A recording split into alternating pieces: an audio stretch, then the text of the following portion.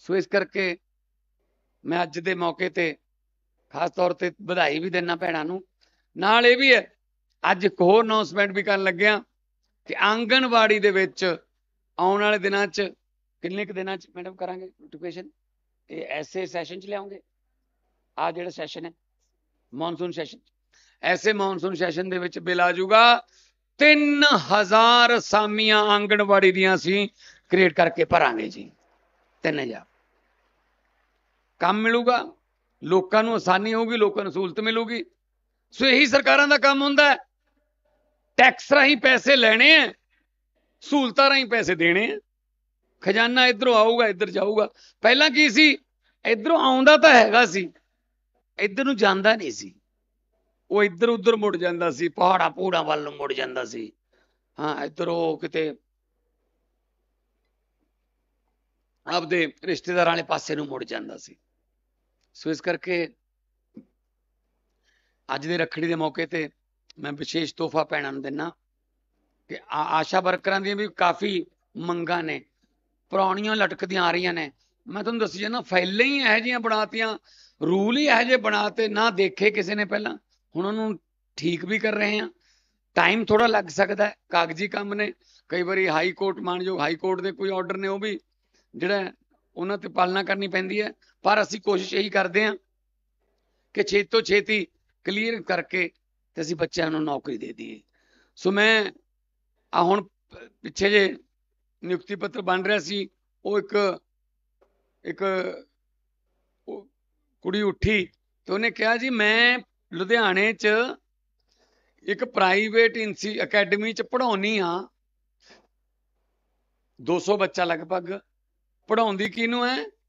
ਜਿਹੜੇ Canada New Zealand Australia ਤੋਂ PR ਛੱਡ ਕੇ ਵਾਪਸ ਪੰਜਾਬ ਚ ਆਏ ਨੇ।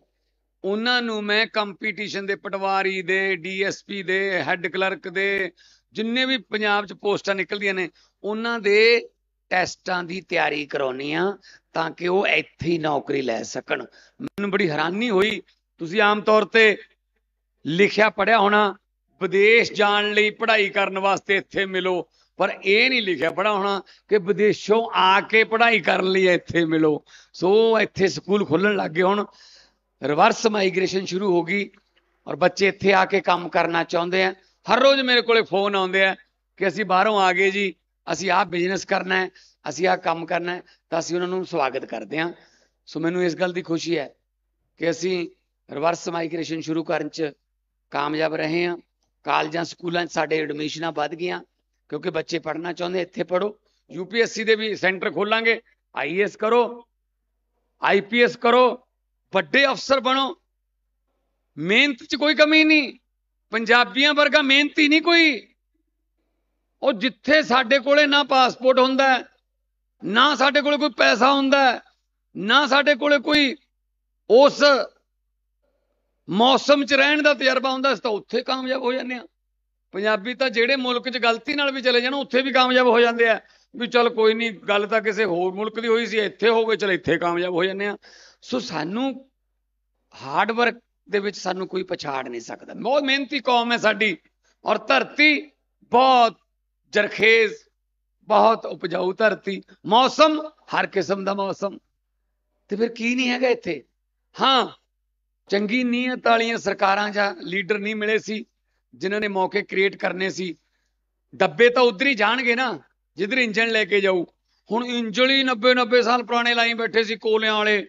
ਹਨਾ, ਹੁਣ ਨਹੀਂ ਚੱਲ ਸਕਦੇ ਉਸ ਹਿਸਾਬ ਨਾਲ। ਦਿੱਲੀ ਵਾਲਿਆਂ ਨੇ ਇੰਜਣ ਬਦਲ ਲਿਆ। 8.5 ਸਾਲ ਹੋ ਗਏ ਅਰਵਿੰਦ ਕੇਜਰੀਵਾਲ ਨਾਂ ਦਾ ਨਵੇਂ ਡਿਜ਼ਾਈਨ ਦਾ ਇੰਜਣ ਹੈ। ਦਿੱਲੀ ਦੀ ਗੱਡੀ ਪਟੜੀ ਤੇ ਚੜੀ ਹੋਈ ਹੈ। ਦਿੱਲੀ 'ਚ ਸਕੂਲ ਸ਼ਾਨਦਾਰ ਬਣ ਗਏ। ਦਿੱਲੀ ਦੇ ਹਸਪਤਾਲ ਸ਼ਾਨਦਾਰ ਨੇ, ਫ੍ਰੀ ਇਲਾਜ ਹੁੰਦਾ ਹੈ।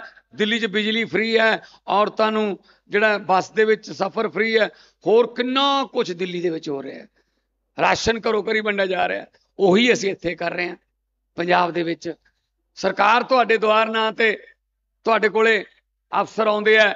ਮੈਂ ਰੋਜ਼ ਮੈਂ ਰਿਪੋਰਟਾਂ ਲੈਣਾ ਵੀ ਅੱਜ ਕਿਹੜਾ ਡੀਸੀ ਜਾ ਰਿਹਾ ਹੈ, ਕਿਹੜਾ ਏਡੀਸੀ ਪਿੰਡਾਂ ਜਾ ਰਿਹਾ ਉੱਥੇ ਰਿਸ਼ਤੀਆਂ ਕਰਕੇ ਆਊਗਾ ਜਾਂ ਕੋਈ ਪ੍ਰਮਾਣ ਪੱਤਰ ਬਣਾਉਣਾ ਕਿਸੇ ਨੇ ਕੁਝ ਆਧਾਰ ਕਾਰਡ ਦਾ, ਕੋਈ ਵੀ ਕੁਝ ਸੋ ਅਸੀਂ ਸਰਕਾਰ ਤੁਹਾਡੇ ਦੁਆਰ ਨਾਂ ਦਾ ਪ੍ਰੋਗਰਾਮ ਹੈ। ਕਈ ਬਹੁਤ ਬਹੁਤ ਬੰਦੇ ਹੈ ਜਿਹਨੇ ਜਿਹੜੇ ਸ਼ਹਿਰ ਨਹੀਂ ਆ ਸਕਦੇ। ਬਜ਼ੁਰਗ ਨੇ, ਉਹਨਾਂ ਨੂੰ ਸ਼ਹਿਰ ਆਉਣ ਵਾਸਤੇ ਕਿਸੇ ਸਹਾਰੇ ਦੀ ਜਾਂ ਵਹੀਕਲ ਦੀ ਲੋੜ ਪੈਂਦੀ ਆ। ਉਹਨਾਂ ਕੋਲੇ ਹੈ ਨਹੀਂ। ਤਾਂ ਜੇ ਉਹਨਾਂ ਦੇ ਪਿੰਡ ਹੀ ਅਫਸਰ ਆ ਜਾਣ, ਤਾਂ ਤੁ- ਤੁਰ ਕੇ ਚਲੇ ਜਾਣ ਉੱਥੇ, ਤਾਂ ਫਿਰ ਕੰਮ ਹੋ ਗਿਆ। ਜਦੋਂ ਅਸੀਂ ਵੋਟਾਂ ਮੰਗਣ ਆਉਂਦੇ ਆ ਉਹ ਤਾਂ ਅਸੀਂ ਆਹ ਪਿੰਡੀਆਂ 'ਚ ਵੀ ਜਾਂਦੇ ਆ ਲੌਂਗੋਵਾਲ ਕੋਲੇ ਪਿੰਡੀਆਂ ਨੇ ਛੋਟੀ ਛੋਟੀਆਂ ਹੈਨਾ? ਕੋਠੇ ਕਹਿ ਦਿੰਦੇ ਆਪਾਂ, ਕੋਠਿਆਂ 'ਚ ਵੀ ਜਾਂਦੇ ਆ ਖਿਆਲ ਰੱਖਿਓ ਜੀ। ਤਾਂ ਤੋ ਬਸ ਸਾਥ ਦਿਓ ਜੀ। ਤੇ ਜਦੋਂ ਜਿੱਤ ਜਾਂਦੇ ਆ ਉਦੋਂ ਕਹਿੰਦੇ ਚੰਡੀਗੜ੍ਹ ਆਓ ਜੀ। ਕੀ ਗੱਲ ਬਈ? ਉਦੋਂ ਕਿਉਂ ਨਹੀਂ ਆ ਸਕਦੇ ਵੀ ਜਿੱਤਣ ਤੋਂ ਬਾਅਦ? ਸੋ ਸਰਕਾਰਾਂ ਲੋਕਾਂ ਦੇ ਦੁਆਰ ਜਾਣ। ਜਲੰਧਰ ਮੈਂ ਇੱਕ ਟਿਕਾਣਾ ਬਣਾ ਲਿਆ। ਉਹਦੇ ਨਾਲ ਕੀ ਹੋ ਗਿਆ? ਜਲੰਧਰ, ਹੁਸ਼ਿਆਰਪੁਰ, ਇਧਰੋਂ ਦਸੂਆ ਟਾਂਡਾ, ਨਕੋਦਰ, ਹੈਨਾ, ਇਧਰੋਂ ਆਪਣਾ ਕਪੂਰਥਲਾ, ਤਰਨਤਾਰਨ, ਅੰਮ੍ਰਿਤਸਰ, ਅਜਨਾਲਾ, ਗੁਰਦਾਸਪੁਰ। ਇਹ ਏਰੀਆ ਇਹਨੂੰ ਚੰਡੀਗੜ੍ਹ ਦਾ 150 ਕਿਲੋਮੀਟਰ ਇਹਨਾਂ ਦਾ ਸਫ਼ਰ ਘਟ ਗਿਆ। ਉਹ ਜਲੰਧਰ ਆ ਜਾਂਦੇ ਨੇ। ਹਰ 10 ਦਿਨਾਂ ਦੇ ਵਿੱਚ ਹਫ਼ਤੇ 'ਚ 2 ਦਿਨ ਜਾਂਦੇ ਆ ਉੱਥੇ, ਉਹ ਜਲੰਧਰ ਆ ਜਾਂਦੇ ਨੇ। ਤੇ ਇਧਰੋਂ ਆਪਣੇ ਸੰਗਰੂਰ ਆਪਣਾ ਘਰ ਹੈ ਐਮਪੀ ਤੁਹਾਡਾ ਆਪਣਾ ਠੀਕ ਹੈ ਨਾ? ਇੱਥੇ ਬਰਨਾਲੇ 'ਚ ਵੀ ਆਫਿਸ ਹੈਗਾ ਸੰਗਰੂਰ। ਮੈਂ ਕਹਿੰਦਾ ਕਿ ਤੁਹਾਨੂੰ ਕੰਮ ਕਰਾਉਣ ਵਾਸਤੇ ਚੰਡੀਗੜ੍ਹ ਦਾ, ਜੇ ਤਾਂ ਕੋਈ ਹੀ ਮਜਬੂਰੀ ਹੈ ਤਾਂ ਠੀਕ ਹੈ, ਨਹੀਂ ਚੰਡੀਗੜ੍ਹ ਦਾ ਮਤਲਬ ਹੈ ਦੋ ਦਿਹਾੜੀਆਂ ਫੁੱਟਣੀਆਂ ਤੇ ਤੇਲ ਤੇ ਫਿਰ ਰਹਿਣ ਖਹਿਣ ਦਾ ਖਾਣ ਪੀਣ ਦਾ ਖਰਚਾ ਤਾਂ ਮਤਲਬ ਚੰਡੀਗੜ੍ਹ ਦਾ ਇੱਕ ਗੇੜਾ 5 ਤੋਂ 10000 ਦੇ ਵਿੱਚ ਪੈਂਦਾ ਕਿਉਂ ਬਈ? ਜੇ ਕੰਮ ਇੱਥੇ ਹੀ ਹੋ ਜੇ ਤਾਂ ਆਪਾਂ ਨੂੰ ਕੀ ਮਾੜਾ ਸੋ ਮੈਂ ਅੱਜ ਬਰਨਾਲੇ ਵਾਲਿਆਂ ਨੂੰ ਵਧਾਈ ਵੀ ਦਿੰਨਾ ਇਸ ਗੱਲ ਦੀ ਕਿ ਤੁਹਾਡੇ ਜਿਹੜੇ ਆਉਣ ਵਾਲੇ ਦਿਨਾਂ ਦੇ ਵਿੱਚ ਬਹੁਤ ਨਵੇਂ ਪ੍ਰੋਜੈਕਟ ਵੀ ਅਸੀਂ ਸ਼ੁਰੂ ਕਰਾਂਗੇ।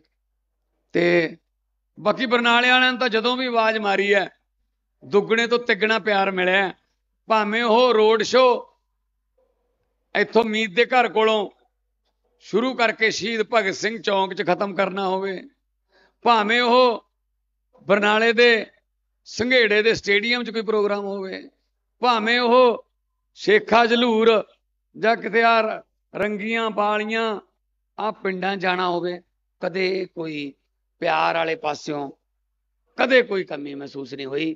ਇਸੇ ਕਰਕੇ ਮੈਂ ਪਰਮਾਤਮਾ ਅੱਗੇ ਅਰਦਾਸ ਕਰਦਾ ਰਹਿਣਾ ਕਿ ਕੋਈ ਪੁਰਾਣੇ ਜਨਮ ਦੇ ਕੋਈ ਕਿਸੇ ਗਊ ਨੂੰ ਪੇੜਾ ਦਿੱਤਾ ਹੋਇਆ ਲੱਗਦਾ ਹੈ, ਜਾਂ ਕੋਈ ਪੁੰਨ ਹੋ ਗਿਆ ਹੋਣਾ, ਕੋਈ ਜਿਹੜਾ ਅੱਜ ਦੇ ਜ਼ਮਾਨੇ 'ਚ ਇੰਨਾ ਚਿਰ ਬਹਿ ਕੇ ਤੁਸੀਂ ਸੁਣਦੇ ਹੋ